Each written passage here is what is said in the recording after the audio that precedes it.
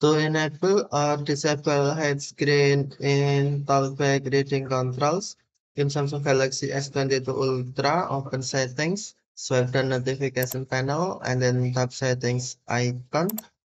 Scroll down settings screen, find accessibility, and then tap accessibility. Next, tap Talkback, and then tap settings. Next, select customize menus. Tap customize reading controls. And then scroll down the screen, find hide screen. And then check hide screen to uh, enable or uncheck to disable. Hide the display so you so your screen is not visible to others when in public place.